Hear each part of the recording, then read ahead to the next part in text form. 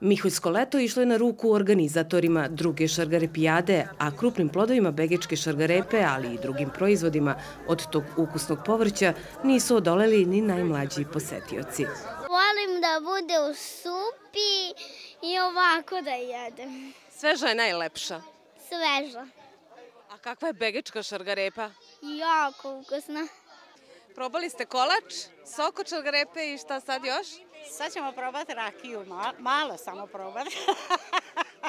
Agroekološki uslovi, pre svega aluvijalno zemljište, blizina Dunava, specifičan način proizvodnje, omogućili su begičkim povrtarima da njihova šargarepa ima vrhunski kvalitet.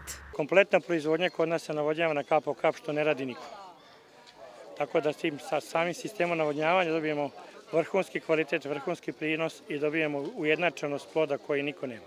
Što se tiče samog prinosa zavisnosti od godine do godine. Ova godina je bila karakteristična po tome da je bilo veliki, velike količine padavina i to nije pogodilo šagarepi, bili su niski prinosi.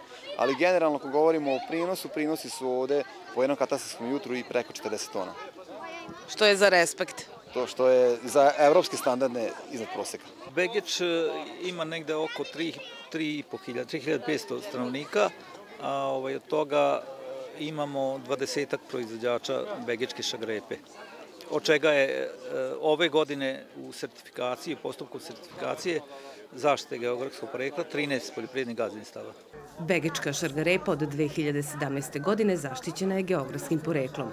Pored futuškog kupusa i fruškogorskog lipovog meda, brend je ovog kraja, a manifestaciju gde se promovišu najbolji domaći proizvodi podržava i grad Novi Sad. Onim gazdinstvima koje se bave proizvodnjom šagarepe, koji nekih 600, na 600 hektara sade šagarepu u okviru vegeča i imaju prinos negde više od 30.000 tona, to je neki 20 gazdinstava.